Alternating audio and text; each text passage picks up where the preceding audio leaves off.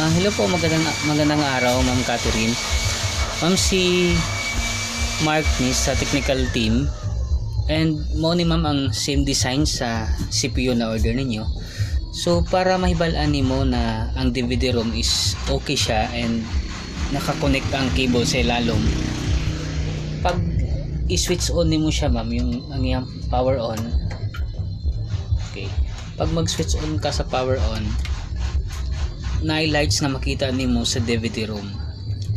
So pag may lights ka nakita nimo sa DVD room, it means nga DVD room is okay. Ayan, pareha na.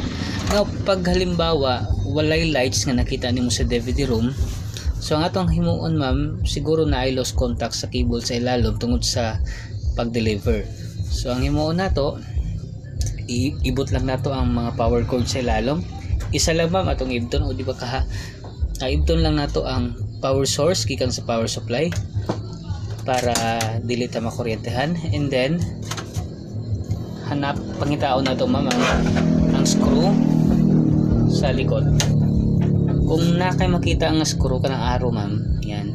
So gamit ang atong uh, Phillips screw ato lang siyang i-open din he kuha na tong screw turn left and then kung may screw pa din he kuhaw na to no? Duha na siya either usa or duha. Kung wala na siya din he naara na siya diri. So mo na siyang lock ma'am.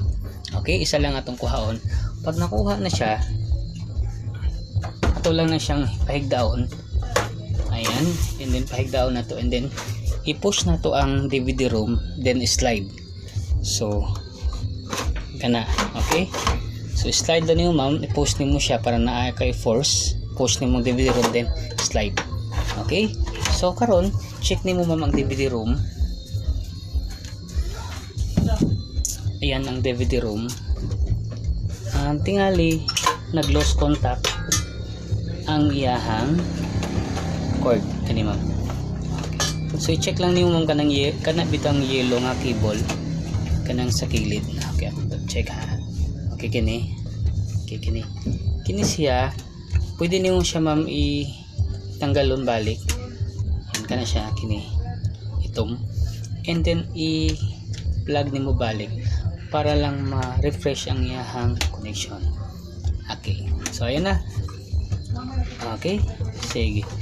Sige ma'am. Paki-update na lang po ma'am ha kung may problem pa po. Salamat